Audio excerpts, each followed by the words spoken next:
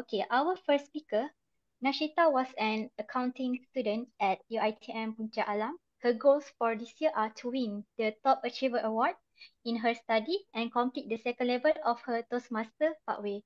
Let's all rally uh, behind her and help make these dreams a reality this year. Let us now put our hands together to welcome Nashitah with her speech entitled uh, Procrastinating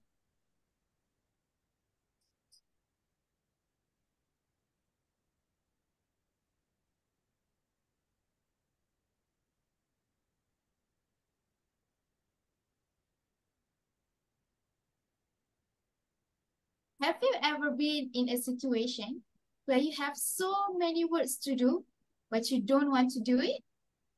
Just think of right now. What is the thing that you procrastinate? So what did you procrastinate yesterday? What did you procrastinate the last weekend? What did you do? Now let me share you a story of mine. It was a warm and sunny holiday Actually, it was my last semester study week leave, which means I am going to face, face my final examination soon. I was very happy to come back home. I prepared my subjects and my topics with very detailed so that I can manage my time wisely at home. I came home, I set up my room. I opened my laptop and I clicked Netflix. Two hours passed. And then I felt like breathing fresh air. I went out my room, passed through the living hall. I accidentally grabbed the remote and watched another movie for two hours. And then I suddenly remember, oh, my sister wants a cake the indulgence. Maybe I should do that today. Another long hours is gone. Then I suddenly felt like craving for shepherd pie. It all goes back and forth for the next few days. And in Friday, I by the time I have the spirit to start study again, it's already Friday. Friday, Saturday, and Sunday to revisit four subjects. In short, I regretted. I regretted that I procrastinated on my studies, but I did not pro I did not regret that I cook and bake not at the right time. How unlucky I was, even though I have two days gap between each of my papers, I fell sick. I was down with viral flu and need a long bed rest. I cannot study for more than one hour. Plus, with my coughing medication, I fell to my bed immediately after. On the night before my examination, I slept at 8 p.m., hoping to wake up at 3 a.m. so I can continue my revision. It's 3 o'clock in the morning. I woke. I washed my head as I felt very dizzy and I sat on my study desk. Tick tock, tick tock, tick tock. I cannot. I continued to sleep for another three hours. It's now it's six o'clock in the morning. I forced myself to wake up because it's today. By hook or by crook, I need to study. Then it's time for my examination. I have I even have the difficulties to even understand the question. I have to repeatedly reread the question because my brain cannot digest. At that moment, my hands were shaking. My legs were shivering. My heads are going wild. My heart is beating fast. And in the next examination, I was coughing nonstop for 10 minutes. That that seriously impacts my moral and my spirit. that, and then I requested to be isolated in another examination room, but I was placed in front of the hall closer to the invigilators in case anything happened. For those three hours of my examination, I did my best, but I know I could do better. I blamed myself for not being able to achieve my target. This is all because of my procrastination that happened during my study week leave.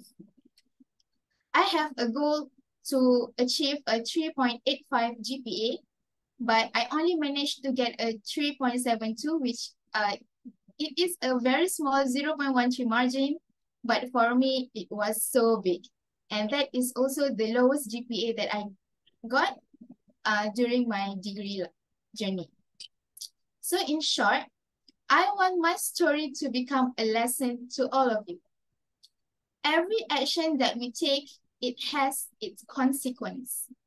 You procrastinate now, and you will suffer the consequence later. A few days ago, I searched for a quote for procrastination, and I found this such a funny quote. It goes like this. Procrastination is like a credit card. It's a lot of fun until you get the bill. Do you understand? Thank you. Back to you, Toastmaster of the day.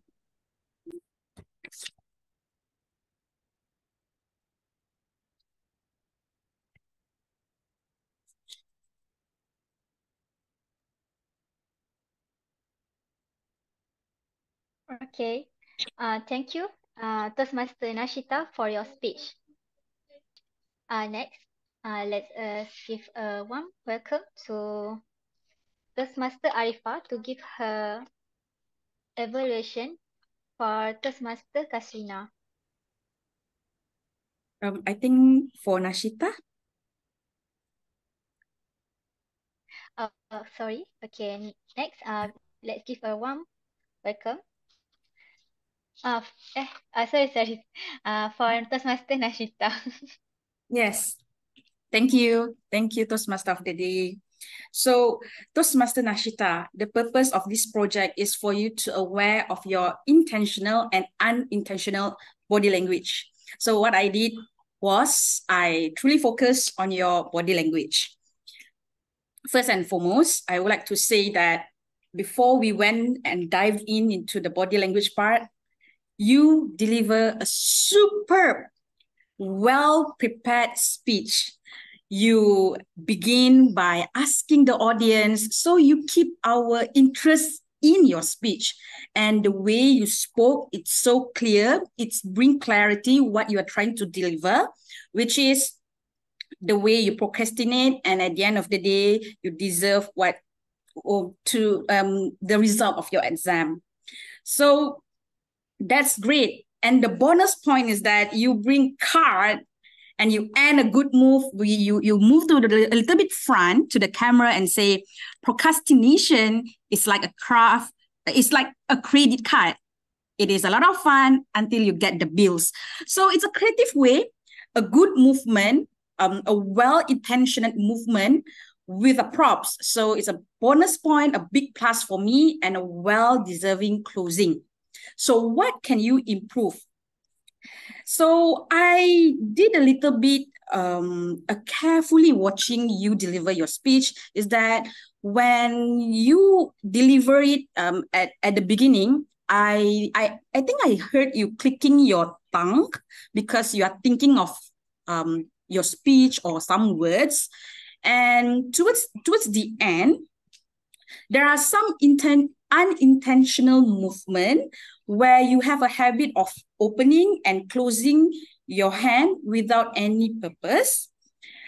And another thing is that towards the whole speech, you are in your excited tone and you move a little bit past in your speed.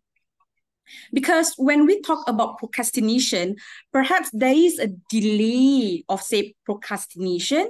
And when you actually tell us that you come, came down with a flu, perhaps you can show the droggy faces, the tiredness, and the dizzy. You, you may act it, pause a little bit and act the dizziness. And don't be afraid when you say sleep just to sleep in and, you know, um, act it as it is. Um, you feel it. Uh, so if I can put it in a good word, is that to feel your words, to convey it with your heart. So this is the room of improvement I would suggest to you. All in all, what I can tell you is that you are a good speaker. You're able to deliver a very clear message. You end it with a big wow factor and you keep us interested throughout the whole speech. It's just that a tiny, tiny, wincy, a bit of improvement is that to convey it, take your time to deliver with your heart. All in all, I really amazed the way you deliver your speech. Thank you. And back to you, Toastmaster of the evening. Okay, thank you, Toastmaster Arifah, for her evaluation. Okay. Best project speeches. Do we have a do we have a tie or do we have one winner? Tie. we have a tie. Ooh, all right. For Best Project Speaker Award goes to Nashitah and Iza. We have a tie. All right. So let's take photo together. Eh, all right. One, two, three, smile. Awesome. Thank you.